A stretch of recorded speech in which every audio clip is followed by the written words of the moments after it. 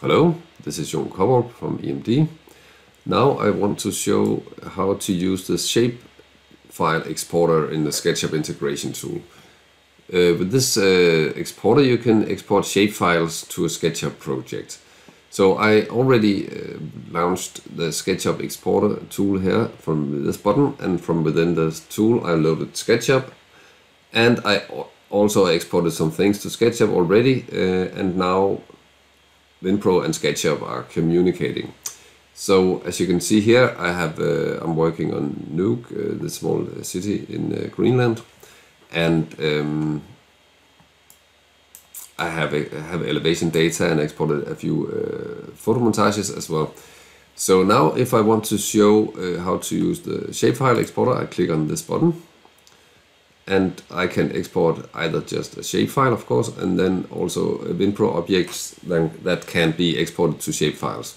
So uh, that is uh, there's some of the, of the windPRO objects that, that, can that.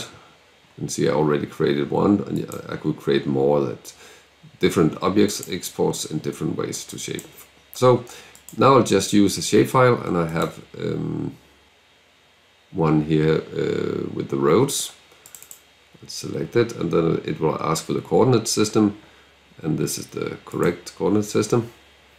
And then I can either export it at level at sea level and that is fine if it is uh, actually is polygons then that can be closed uh, and not lines. Um, in this case it is lines and I want it to be created at surface levels. Um, as you can see now it, it will then follow the, the elevation model. So I just run the exporter.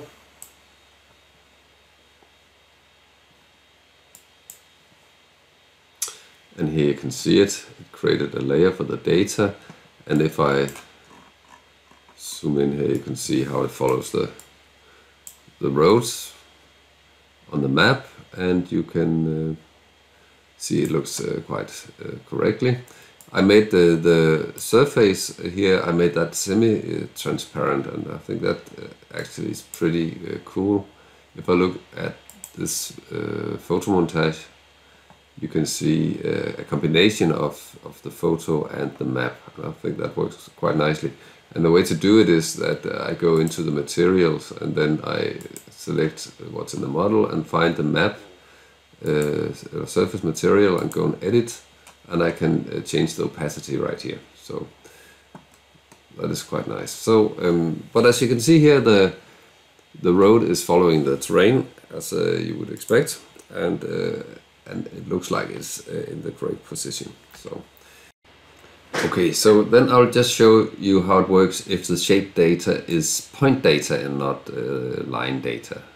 Um, here I select another shapefile which contains uh, flagpoles actually. Uh, and there are many of those in this city, I will tell you that. Um, and here again it asks for um, the coordinate system and this is uh, the correct one. And I want them created at the surface level. And then this button turns up because now I can specify uh, because it's point data what I want to put at where the points are. And so far there's uh, uh, only these two uh, things you can add, but you can create your own um, models that you want to put where the points are. And uh, to do that, it's uh, the same procedure as uh, when you create vegetation and you can have a look at the vegetation exporter demo to see how you do it. now I'll just take this one and you can see it's 10 meters high and then I say okay and I will uh, run the exporter I think I'll just go here to the overview. Export done. Okay and uh, here put in a lot of uh, markers uh, and that is where the, supposed to be uh, flagpoles. So I'll just have a look here on the photo and you can see there is actually one here and there is one here. Perhaps it's a bit tricky to look in more details at the photos. I think there's one here. I'll say that uh, this photo montage here is not 100% correctly calibrated because it's just made up by a um, mobile phone image I, I got.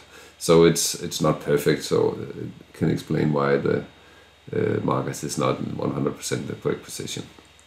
But still, uh, that's uh, the way it works. So um, I think that's about it for this exporter. So thank you for watching and uh, goodbye.